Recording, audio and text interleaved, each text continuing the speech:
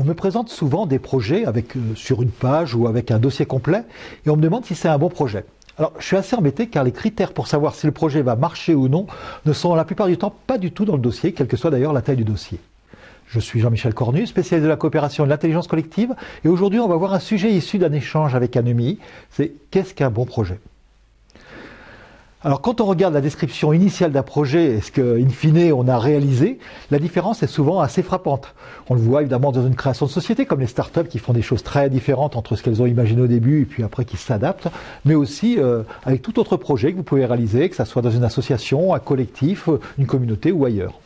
Alors au risque de vous décevoir, ce qui est décrit euh, dans l'idée de départ est la plupart du temps extrêmement différent de tout ce qui a marché pour la suite.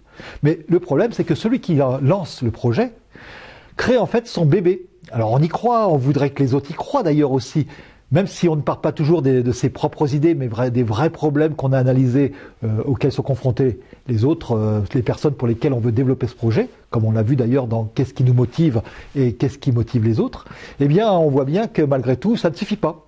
Car euh, on ne peut pas tout prévoir, quel que soit le temps passé à étudier les besoins.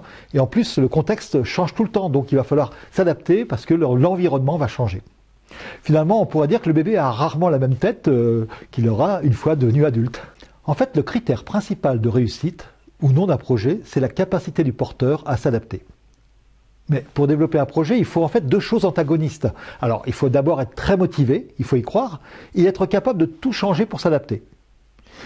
Alors, si on est motivé sur le projet, effectivement, eh bien, on a un problème. Si on est motivé pour réussir le projet, même si on doit le transformer en profondeur, ça sera plus facile. Finalement, on ne fait pas un projet comme on fait un bébé. Il faut être capable, par exemple, de l'aider à s'améliorer par, l'éducation pour un bébé, mais il faut être capable de tout changer, de recommencer de façon itérative et même de façon vraiment en profondeur lorsque c'est un projet, jusqu'à ce qu'on arrive à une solution qui marche réellement. Cette solution, c'est rarement celle qu'on est capable d'imaginer à l'avance, malgré ce que pousse notre culture occidentale, qui est très orientée vers la planification, à imaginer dès le départ toutes les étapes de façon définitive. Eh bien non, il va falloir faire autrement pour réussir vraiment un projet. Alors finalement, eh bien, on avance de façon itérative, on avance un petit peu en cercle, qui recommence encore et encore. Enfin, plutôt, je devrais parler de spirale, parce que à chaque fois, eh bien, on apprend ce qui marche pas. Et donc, on avance vraiment, et donc, on va progresser comme ça, progressivement, en spirale. Alors, ça peut durer effectivement euh, du temps, hein, ou plutôt un certain nombre d'itérations, c'est-à-dire d'erreurs, d'essais, erreurs, de recommencer, etc. Donc, le premier critère, c'est donc la capacité à s'adapter, itération après itération, tout en gardant sa motivation.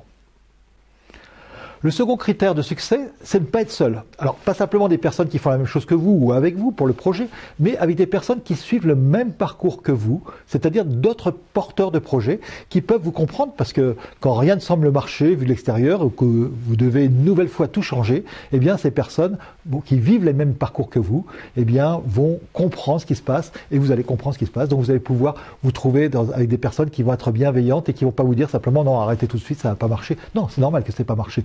Et donc, itération après itération, eh bien, qui vont vous entourer et vous allez les entourer eux-mêmes. Un troisième critère possible, c'est d'être accompagné par quelqu'un qui a déjà fait une ou plusieurs fois ce parcours. Alors on parle de coach ou de mentor, et, lui il comprend encore mieux ce parcours en spirale parce que non seulement il l'a fait, mais il a pu aboutir à un vrai résultat. Donc c'est ça qui va vous aider effectivement, pas simplement dans ses conseils, mais dans son regard, dans ses encouragements, et puis dans le fait qu'il vous montre qu'effectivement oui on peut réussir. Alors à vous de jouer. Premièrement, avez-vous la motivation suffisante, non pas sur le projet tel que vous l'avez imaginé, mais sur l'envie d'aller au bout du chemin, quelles que soient les transformations que ça va vous demander?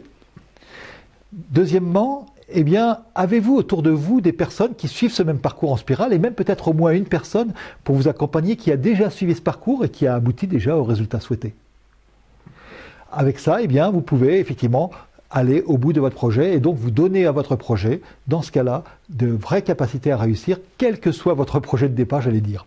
Et comme d'habitude, commentez, abonnez-vous avec la petite cloche pour être prévenu des prochaines vidéos, likez, et vous pouvez télécharger le guide de l'animateur une heure par semaine pour animer une grande communauté. Et je vous donne rendez-vous la semaine prochaine pour un nouveau truc d'animation.